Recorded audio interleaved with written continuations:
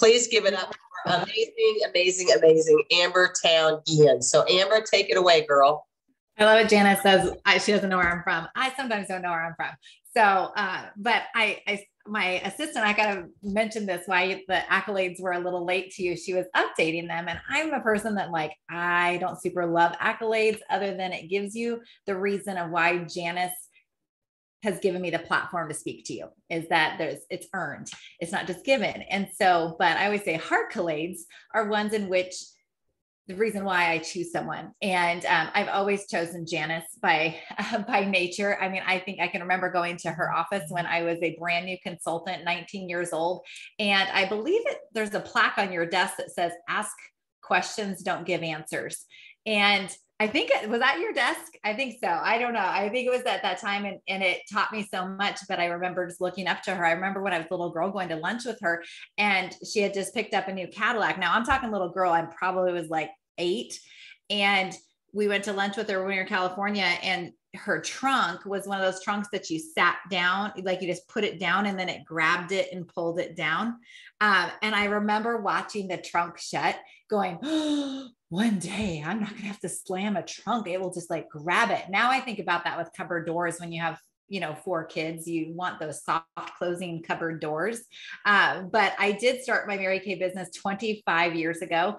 Um, for more more than that it's been most mostly my whole life but i'm not going to share that portion because we don't have time for that. But my mom actually joined mary kay when i was just three years old.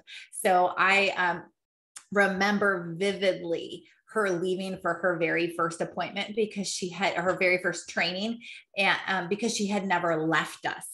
Like ever to do the grocery store or anything. And so I remember it. And I also remember her teaching us how to set goals. And so one of the pluses of being raised in a Mary Kay home and also by a top Mary Kay leader and on to be a national sales director was there is one thing I wish I could give everybody, whether you're in Mary Kay or you're not in Mary Kay, is that the process is worth it.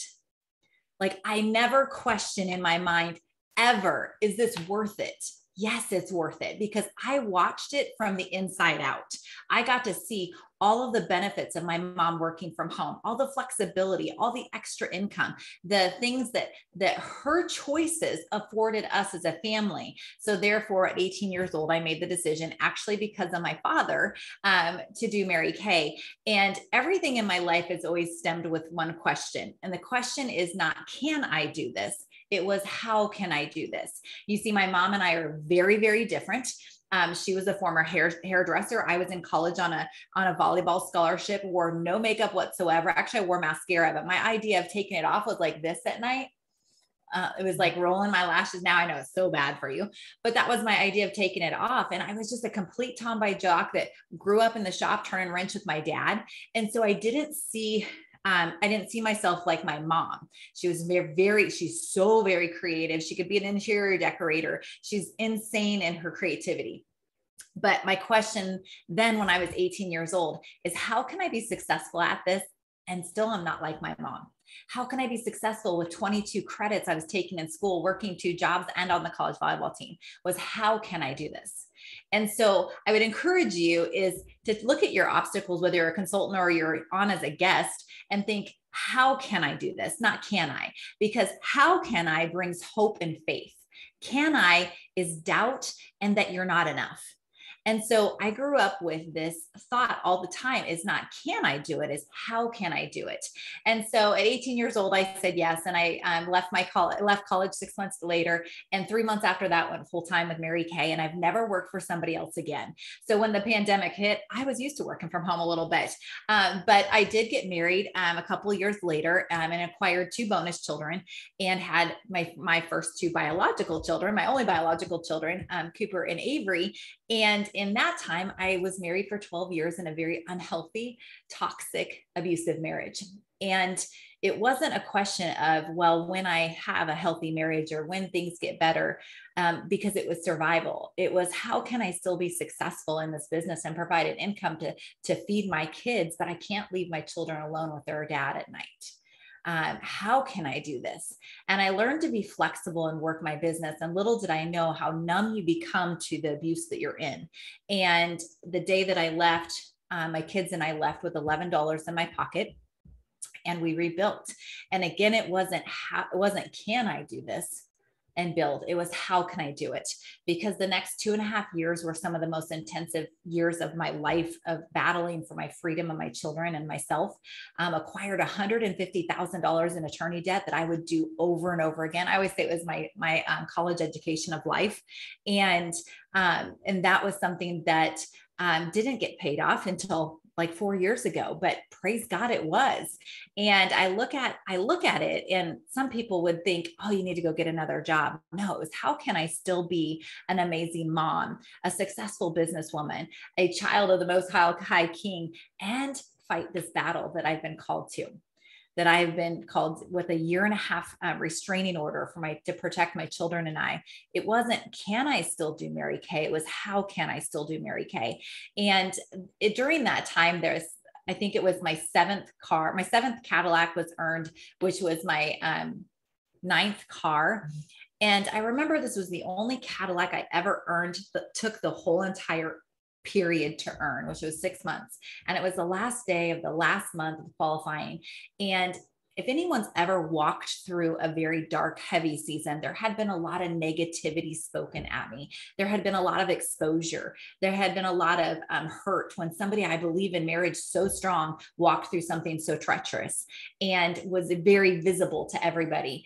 Um, and there was days in my gratitude journal, all I wrote was I was a I was grateful I was above ground and breathing.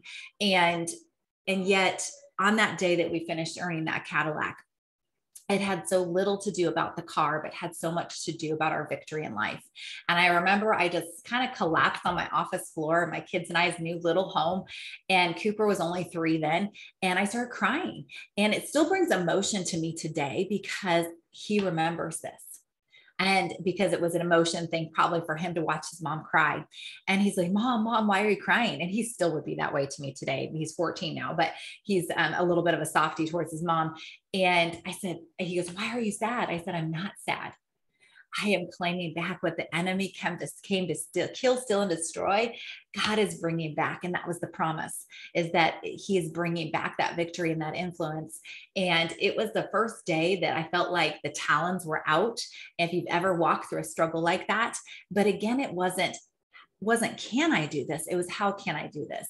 Because you see, I couldn't put my kids in childcare during that time because I had to protect them. My daughter, who was in elementary school at the time, had they had the school had an exit route planned for her that if someone were to come to the school that they knew how to get her off campus safely and protect her and that was what i was living in but still providing for my family and children no child support no spousal maintenance no anything and and i think as a single mom one of the things you always um, fear is is being like that you need people. And i think it's a, such a sad thing. Like you feel like you don't want to be a burden on people so you just do it all. And so again it just became how can i? How can i still be this mom that i desire to be with high influence on my kids and lead a unit and be a christian and everything that i am and walk this battle but it was something part of my journey and uh, then about a year later, I met my husband, Joe, which is why Janis doesn't know where I live anymore, uh, because I met him and he lived in Phoenix. I lived in Seattle. We, I met him at a family birthday party and he asked for my number. And my personality is, I'm not giving him a number, but he was from Phoenix. So what could it hurt? I literally told my friend that night, I said, if I marry this dude, I'll make your, I, I will make you a bridesmaid. Mind you, the friend I was telling was six five male, and um, I said if I if I end up marrying him, I'll make you a bridesmaid. Well, three years later, we had dated long distance for three years. Again, how can I do this and still have a relationship long distance be a single mom all all the and um, we got we blended our four kids he moved to seattle where he said he was never going to move back to for two years and then um, his job in management with Southwest Airlines moved us out of Kansas City, City, Missouri. And I laugh at that because of all places, neither one of us knew anybody in Kansas City, Missouri. And so if you say, how can I like do this? I don't know a lot of people. I don't have any connections. Try zero connections is what I had in Kansas City, Missouri. And so I built there not knowing one single person. I had over 70 facial boxes out. I had referrals everywhere. When I left Kansas City, Missouri, I gave away 2,000 leads. And now, this was one month before COVID hit that we moved to, to Phoenix, Arizona, not knowing any, I didn't know anyone here. And, but I was smart enough to why I don't know, bring 2,000 referrals that I had in my hands. Um, and I had 2,000 referrals. And the only reason I didn't give those away to my local consultants is because they were referred to me and I felt kind of weird giving them away. And literally that started our virtual business here was all of those referrals became my first facials. And now we've done over 500 um, virtual facials is what I've done. And again, the ringing tone through my whole entire life is how can I do this? Instead of looking at your life as of all the obstacles, all the setbacks, the abuse, the negativity, the people that say, well, you couldn't even sell Girl Scout cookies. Um, how could you think you're going to sell Mary Kay? Is how can I do it? How can I do it? If I've never went live virtually, not well, I've never done that. I don't know how to do that. How can I? Instead of can I? Because again, can I brings doubt and disbelief and that you're not enough. But how can I brings faith and hope and that there's something more here.